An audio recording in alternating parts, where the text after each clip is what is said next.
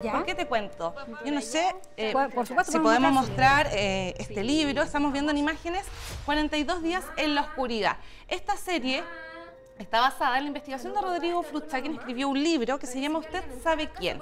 Esta historia es sobre el crimen de Viviana Heger en el año 2010, una mujer, una dueña de casa, que desaparece misteriosamente. 42 días después es encontrada en el entretecho de su La guardilla. La ahí mostrar su libro. Mire, señor director, acá la Mane trae el libro del que está inspirado finalmente eh, esta serie que la puede... Ahí puede mostrar lo, el libro. lo podemos mostrar. Es- ¿Qué está es su- disponible esta serie. Sí, y este libro no es nuevo, es del 2019. ¿Qué pasa? ¿Por qué ha concitado tanta atención? Es a propósito de la serie. Ya. ¿Por qué la serie? Eh, en las dos semanas anteriores, digamos, ha sido uno de los estrenos y series chilenas más vistos por suscriptores chilenos en Netflix. Entonces eso ha llamado la atención y también en las librerías chilenas, por lo menos en las tres más grandes, importantes, ha sido el libro más vendido.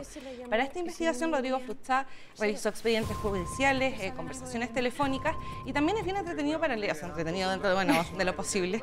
Eh, es bien rápido de leer porque él pone notas eh, que van ayudando un poquito al lector a entender qué fue lo que pasó con Viviana Hager y toda la historia entonces con respecto a este crimen. Yo les voy a contar un dato porque a la Mane le encanta leer y, bueno, ella, como decía alguien por ahí, usted se devora los libros. Es verdad. Eh, este libro es de una lectura rápida. ¿Cuál es tu, tu análisis, Ale? Así es, como te comentaba, como tiene hartos datos que da el mismo escritor, uno va más allá de una historia que claramente tiene componentes que son eh, mucho más pesados, porque hay eh, datos judiciales, policiales, sí está escrito de una manera en que cada, o sea, el lector que esté interesado en, en enterarse un poco de qué fue lo que pasó con Viviana Hager Ya. puede hacerlo. Así es que recomendado la joyita de la semana.